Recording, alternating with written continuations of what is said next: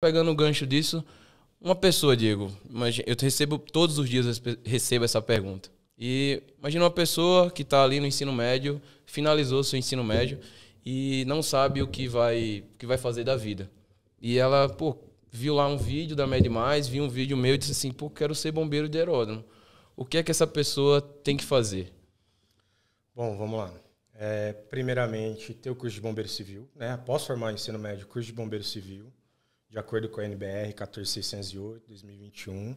Né? Então, tem que procurar escolas que atendam né, a, a NBR por completo.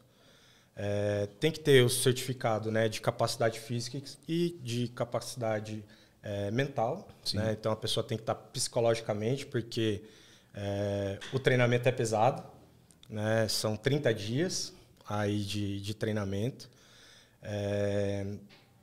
Então, basicamente é isso. E algumas pessoas é, também perguntam a questão do bombeiro militar, né? Então, se a pessoa também tem a formação como bombeiro militar, seja de forma temporária pelos bombeiros militares do, dos estados, né? Ou até mesmo pelo bombeiro militar da FAB, né, dentro da, da área de, de, infantaria da, da FAB, na, na especialização de, de bombeiro é, aeronáutico, também é, não precisa ter o curso de bombeiro civil.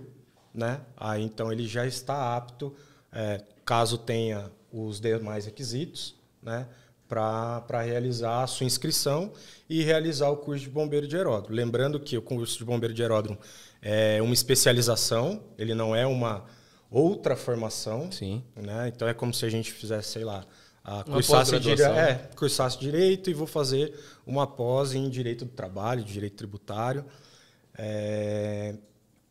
Então, e lembrando que não é simplesmente se inscrever no curso. Sim. É, todo mundo acha que é se inscrever, você bombeiro de aeródromo. Não, não é isso. É, tem uma série de requisitos durante o treinamento que devem ser cumpridos. É, tem uma prova. Provas, né? Tem é, provas. Tem, tem provas. é, e assim, se não atingir a média, a pessoa é desligada do curso e, independentemente se ela fez o investimento ou não,